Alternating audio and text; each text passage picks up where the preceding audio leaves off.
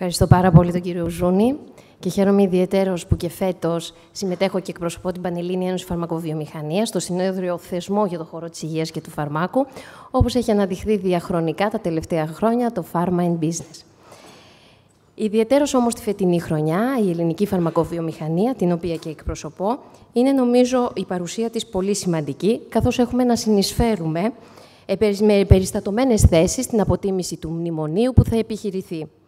Η σύγκριση με τη διεθνή εμπειρία στον τομέα των, των μεταρρυθμίσεων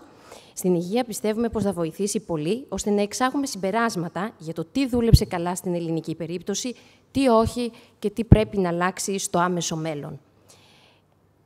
Είναι γεγονός ότι η ασκούμενη φαρμακευτική πολιτική των τελευταίων ετών αποδείχθηκε μονοδιάστατη και αντιαναπτυξιακή. Οι τιμές που επιβάλλονται στα παραγόμενα στην Ελλάδα φάρμακα είναι μη ρεαλιστικές εφόσον φυσικά επιθυμούμε να συνεχιστεί η παραγωγή του στη χώρα μας, ενώ την κατάσταση επιδεινώνει και το καθεστώς των συνεχώς αυξανόμενων clawbacks και rebates. Είναι προφανές πως αν συνεχιστεί αυτή η μονομερής διάλυση των τιμών των ήδη οικονομικών ελληνικών φαρμάκων, δεν θα μπορούμε να μιλάμε πια για καμία ανάπτυξη, καθώς τα εγχωρίως παραγόμενα φάρμακα θα έχουν οδηγηθεί ουσιαστικά εκτός αγοράς.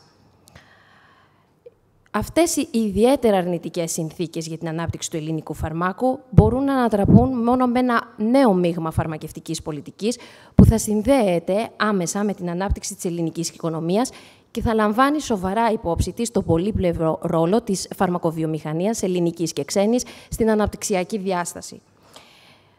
Όμως, ε, όπως θα επιχειρηματολογήσουν και κατά τη διάρκεια του συνεδρίου εκπρόσωποι της φαρμακοβιομηχανίας, οι προποθέσει για την ανάπτυξη του κλάδου μας αφορούν τόσο σε άμεσα μέτρα, όπως ακούστηκε και από τον πρόεδρο του ΣΦΕ, η επαρκής χρηματοδότηση του συστήματος, η εξομάλυνση της αποπληρωμής των προμηθευτών, η καθολική ηλεκτρονική διαχείριση του κλάδου υγείας, οι αναλύσει των δεδομένων, η έλεγχη σε κάθε κέντρο κόστους, η στελέχωση του ΕΟΦ, όσο και σε αποφασιστικές όμως διαρθρωτικές αλλαγές. Εάν στη νέα φαρμακευτική πολιτική που θα σχεδιαστεί οι προϋποθέσεις αυτές ικανοποιηθούν, είναι βέβαιο πως η ελληνική φαρμακοβιομηχανία μπορεί να αναπτυχθεί αλματοδός, δημιουργώντας μεγάλη προστιθέμενη αξία για την εθνική οικονομία και να συμβάλλει στην κάμψη της εξόδου ικανότατων στελεχών και ερευνητών υψηλής εξειδίκευσης προς το εξωτερικό.